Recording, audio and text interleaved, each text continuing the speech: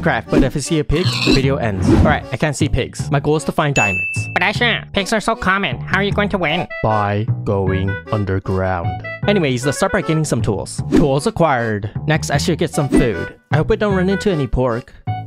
Wait a minute. Is that a village? Awesome. And there's no blacksmith. Well, but I can get hay bales to make some bread. Bread acquired. Okay, time to find a cave. Ooh, is that a cave? Let's head that way.